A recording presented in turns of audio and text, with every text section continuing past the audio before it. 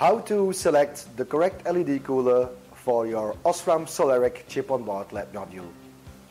In MechaTronix, under the correct LED cooler, we understand a product which is at one side thermal compatible, so that means that at the end your LED stays at the correct temperature you desire, and at the other side mechanical compatible that you don't have to drill or tap holes at the end. Let's first look at the thermal compatibility. And as an example, we are going to design a luminaire using the Osram Soleriq S19 chip-on-board package. First, we have to determine our boundary conditions. So we will work at an ambient temperature, in this case, of 40 degrees Celsius. And we want to keep our case temperature, our measurement point, below 85 degrees Celsius. In the datasheets of Osram, we can see we are going to drive the module at 700 milliamps and a forward voltage of 46.5 volts. So from that we can calculate the electrical power.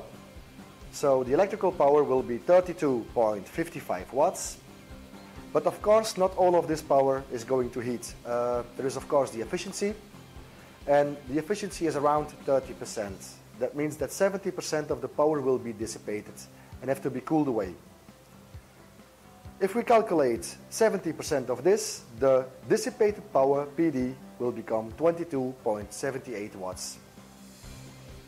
Now we put all this in a simple formula and we divide the difference from the case temperature to the ambient, so 85 minus 40 gives us 45 degrees Celsius, this value we divide by the dissipated power, 22.78, and we get a thermal resistance of 1.97 degrees Celsius per watt or Kelvin per watt.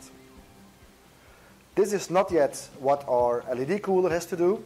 From this value, we have to deduct the interface material, which also has a thermal resistance. And in practical, if you use a good grease or a good phase change material as an interface pad, you have to count around 0.1 to 0.2 degrees Celsius per watt for that. So 1.97 minus, let's say, 0.2 gives us a maximum thermal resistance of the LED cooler of 1.77 degrees Celsius per watt.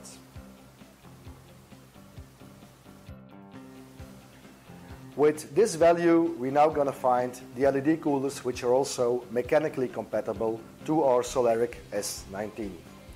And for that, we go to our website, led-heatsink.com. We go to the Osram Opto Semiconductor section, and we fill out our filter on the top. So first we select our Soleriq S19 chip-on-board module. Secondly, we fill in our results so 1.77 degrees Celsius per watt, and we click on go.